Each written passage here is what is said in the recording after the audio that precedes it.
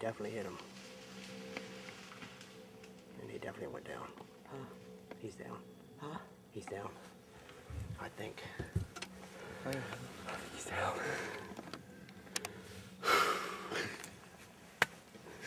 I think he's down. I think I think you hit him. Listen. Well, it's been about five minutes since Brett shot at that big buck. I'm shaking like a leaf on a tree, and I didn't even shoot it.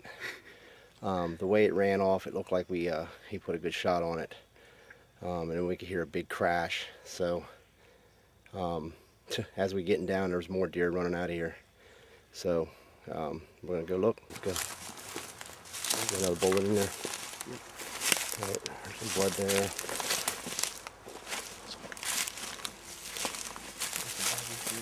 Some more blood right there. Blood right there. You go first. You follow the. Blood.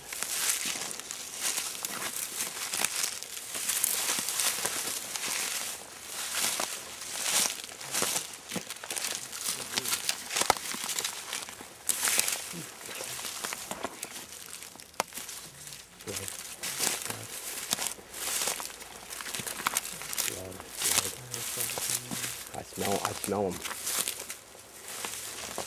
Let's see if we jump low again. I can smell him. He's close. Oh, you see blood? Huh? You see blood there? Oh, no. It's fine. Or just, you know, just, know, you see blood? Did you see?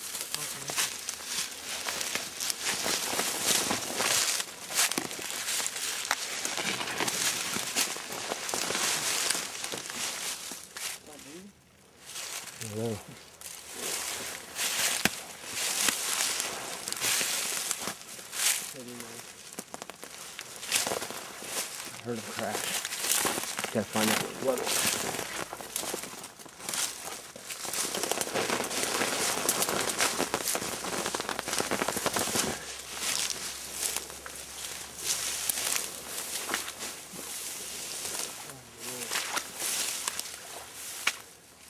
Oh, Alright, let's go back where we found blood. Back border there.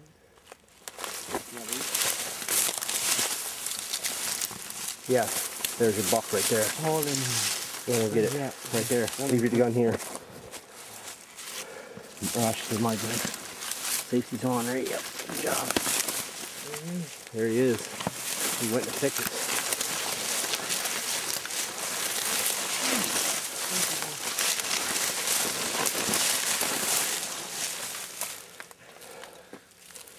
Oh man. Crap.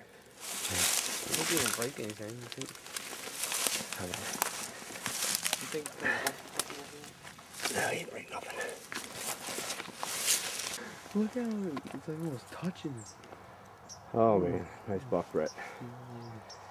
Nice buck. Well, we just recovered the deer. What a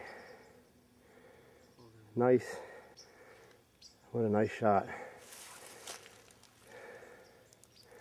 He ran probably 40 yards, 50 yards, wedged himself between a tree and a down log. I'm out of breath trying to get him out.